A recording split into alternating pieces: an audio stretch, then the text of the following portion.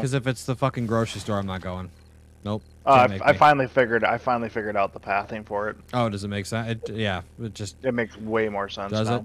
Yeah, the path I took was obviously not right. It they don't make it abundantly clear how to get into the ceiling.